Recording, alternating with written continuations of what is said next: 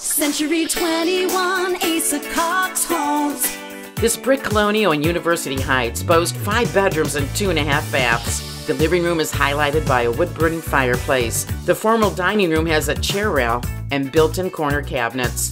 The updated kitchen offers a center island breakfast bar.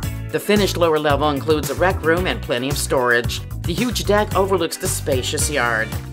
For more details, contact the number one Century 21 team in the world, Asa Cox Homes.